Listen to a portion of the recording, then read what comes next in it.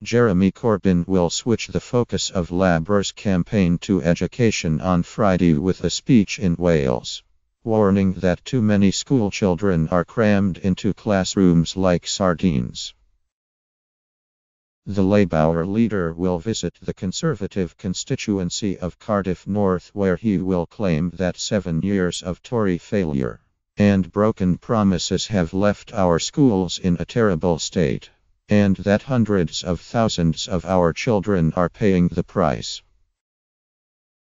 He will point out that the Tories have failed to deliver the 2010 manifesto pledge to deliver small schools with smaller class sizes. Corbyn will promise. Labour will stand up for all children by building a schools system for everyone, keeping class sizes down and making sure schools and teachers have the resources they need to ensure that every child, whatever their background, has access to a world class education. Labour Party analysis of Department for Education figures suggests 40,000 primary pupils are being taught in classes of more than 36 pupils and 16,600 are now in class sizes of 40 and above. Angela Rayner MP, the Shadow Education Secretary, said, This situation is becoming unsustainable. Too many children are being taught in classes which are simply too big. The system for school place planning is broken. The Tories need to let go of their unjustified fixation with free schools. But instead, they have relaxed the rules so even more can be built in areas where there is no demand for places. Free schools are clearly not addressing the growing pressures on schools. Labour believes that pushing the class size issue, together with its recent free school meals pledge, and its opposition to the creation of new grammar schools means that it has a strong story to tell about education. However, it will not be clear until its manifesto is published how increased spending on schools will be funded.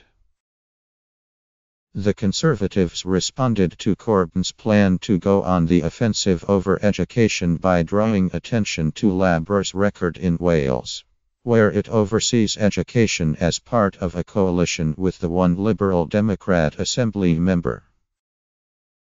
This is a massive own goal from Labour in Wales, where they administer schools with the Lib Dems. The numbers of infants in large classes has risen by 18% in just three years, a Conservative spokesperson said. Corbyn's visit to Cardiff North a seat held by Conservative MP Craig Williams with a majority of 2,137, reflects Labour's determination to show that it is optimistic about gaining seats. Despite trailing Theresa May's party by more than 20% in some polls. Labour is keen to shift the debate in the election campaign away from the issue of Brexit, which divides its voters and focus instead on the government's record on public services and living standards. Funding cuts for schools have caused disquiet among parents in many areas, with conservative backbenchers among those expressing concerns. Corbyn launched Labour's campaign with a bullish speech on Thursday characterizing the 8 June election as a straight choice between the Conservatives as the party of privilege and the richest, and a Labour party fighting for everyone. It's the establishment versus the people, and it's our historic duty to make sure the people prevail, he said.